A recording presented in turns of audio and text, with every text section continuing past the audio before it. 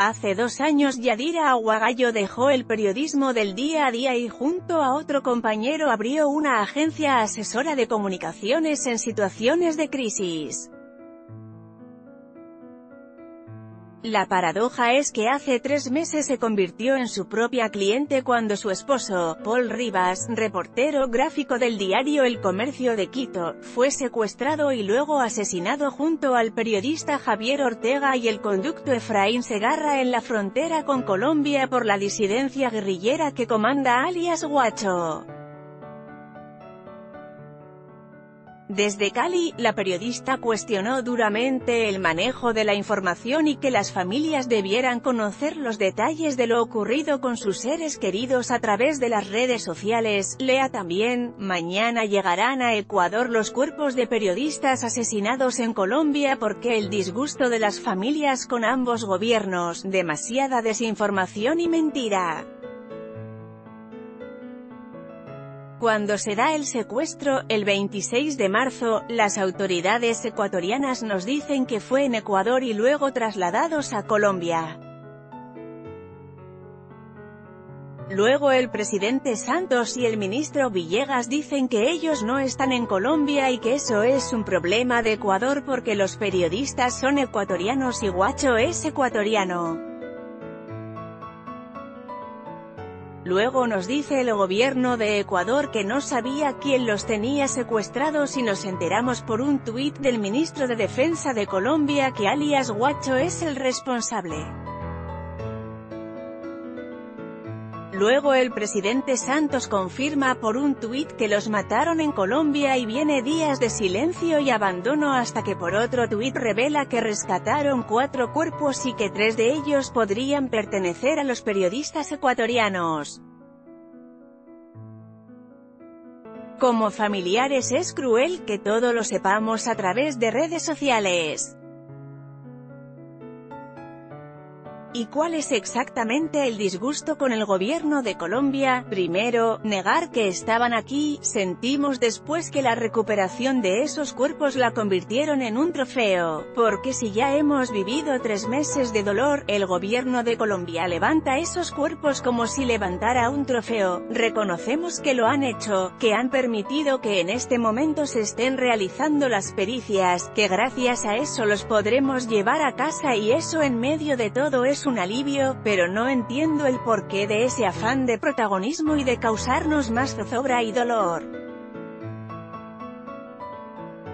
¿Cuál fue la razón por la cual el viernes decidieron pronunciarse? Porque cuando llegamos a Colombia la canciller Holguín en declaraciones a la prensa confirma que son ellos, luego estamos todo el día dentro de medicina legal y nos dijeron que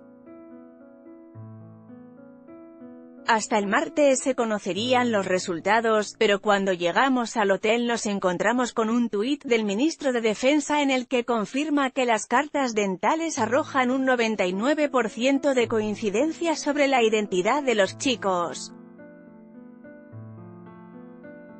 Puedes imaginar tú después de tres meses de aguantar sistemáticamente un manejo de información insensible, empezar a ver ese afán de figuración. Te invade la indignación y por eso en un comunicado pedimos el respeto a la memoria de los tres chicos y también para nosotros que también somos víctimas. ¿Qué respuesta recibieron a ese reclamo por parte de Colombia? La Cancillería envió una nota de protesta diciendo que les sorprende porque lo que han hecho no es más que apoyarnos, pero no sé si el apoyo consiste en hacerte sufrir más emocionalmente. Sí que saludamos que esos cuerpos se hayan recuperado y que ahora Medicina Legal haga las pruebas periciales, pero sentimos que no es necesaria esta tortura psicológica y emocional de tener que enterarte por Twitter de cómo avanza el reconocimiento de la persona a la que tú amas. Y el manejo de la información por parte de su gobierno, en Ecuador quienes estaban encargados del operativo o de las acciones para el canje solo reaccionaban frente a las noticias que surgían desde Colombia. El 28 de marzo el diario El Tiempo informa sobre una falsa liberación y frente a esa noticia reaccionan las autoridades ecuatorianas y convocan a un comité de crisis. Después RCN transmite el vídeo de los chicos encadenados y frente a ese vídeo es que se vuelve a reunir el comité de crisis. Ecuador solo reaccionaba ante esas noticias. Sienten que el gobierno de Ecuador les ocultó información, para nosotros era muy importante saber lo que estaba pasando, pero después nos enteramos que había comunicación entre alias Guacho y un oficial de la policía y que Guacho le decía, que iba a poner bombas y a secuestra civiles y no le devolvía a tres hombres que le capturaron y acababan con el acuerdo binacional de cooperación con Colombia, pedidos que venían haciendo desde enero, mucho antes del secuestro. No te imaginas lo que es despertarte, después de dormir dos horas cada noche, y encontrar en tu teléfono a todas las personas que conoces en Facebook compartiendo imágenes de tu esposo encadenado pidiéndole al presidente Lenín Moreno que los ayude, que su vida está en sus manos. Te juro que ya no sé ni cómo sentirme frente a eso. Les han dicho dónde los secuestraron y dónde los asesinaron, lo que le hemos pedido al ministro de Defensa de Colombia, Luis Carlos Villegas, que tiene tanto afán por informar, es que estamos aquí en Cali, a media hora de vuelo de Bogotá, que nos dé información de dónde encontraron los cuerpos y cuáles son las circunstancias en las que se encuentran. Entendemos que puede ser información sensible, pero para los familiares es muy importante, de otro modo, ¿cómo sobrevives a esto o configuras tu vida con estas dudas? Le puede interesar, Fiscalía confirmó identidad de los cuerpos de los periodistas ecuatorianos cómo recibieron el hecho de que Ecuador tratara de culpar a los periodistas por su secuestro. Siento que fue una afrenta. Inmediatamente se conoce el secuestro. Al otro día el ministro de Interior llama a una rueda de prensa y dice que a ellos se les advirtió sobre el grado de peligrosidad que había en esta zona y por lo tanto hay una corresponsabilidad sobre el secuestro. A mí eso me parece revictimizante, culpar a la víctima por lo que le ha pasado y eso es terrible. Ahora sabemos que es un lugar en el que se articulan las disidencias, el narcotráfico y acuerdos con autoridades militares y de policía que se dan desde hace años.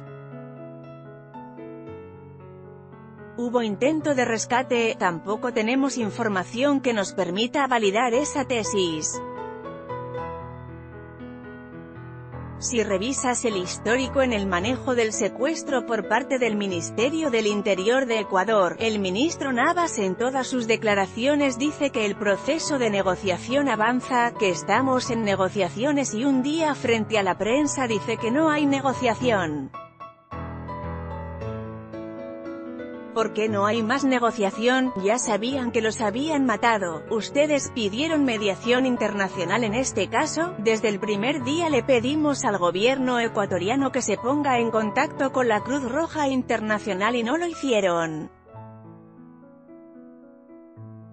Los familiares decididos contactarlos el 4 de abril pero nos respondieron que necesitaban un pedido del Estado ecuatoriano y solo lo hicieron el 14 de abril, un día después de la confirmación del asesinato.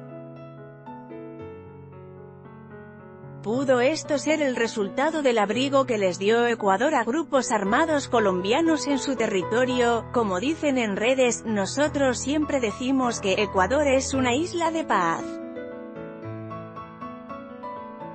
Esto te demuestra que el imaginario de Isla de Paz es solo eso, un imaginario.